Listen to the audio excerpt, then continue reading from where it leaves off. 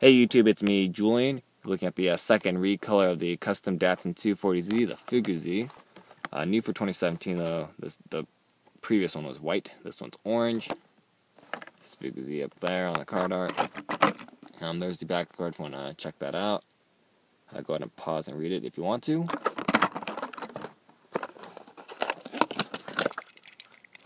Alright, so there it is. Pretty cool and orange. I think I like the uh, white one a bit better. Also, they do have a the real version is white as well.